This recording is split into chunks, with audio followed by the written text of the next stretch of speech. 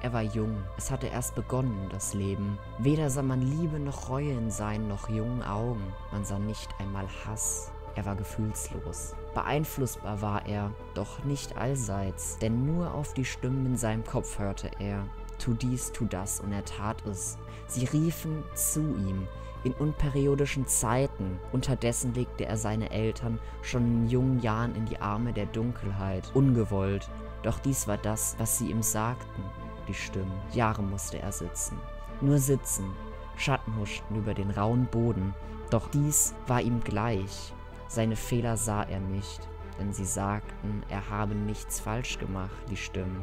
Als Existenz sah er sich, doch nicht als menschliches Wesen. Er hatte keine Ansprüche und auch so keine Bedürfnisse. Dass ich nicht alles gehöre, sagte er. Deswegen sei er eins mit der Dunkelheit. Die einen sahen Dämonen in ihm sitzen, die anderen eine einzige Unmenschlichkeit. Stets sagte er, er habe einen Pakt mit der Dunkelheit. Sie nahmen sich alles raus. Die Dunkelheit.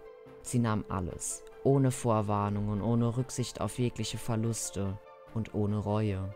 Seine Sorgen und Probleme, ganz gleich, dauerhaft antwortete er der Dunkelheit.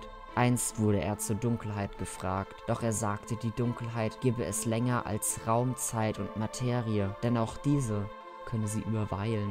Die Dunkelheit konnte die Unendlichkeit überstehen, da sie eine der drei Unendlichkeitsmächte ist. Die Macht der Dunkelheit lebte er, die Macht der Helligkeit verabscheute er und die dritte Macht, aber die wichtigste Macht, konnte sein Verstand nicht wahrnehmen, da sie die stärkste Macht war.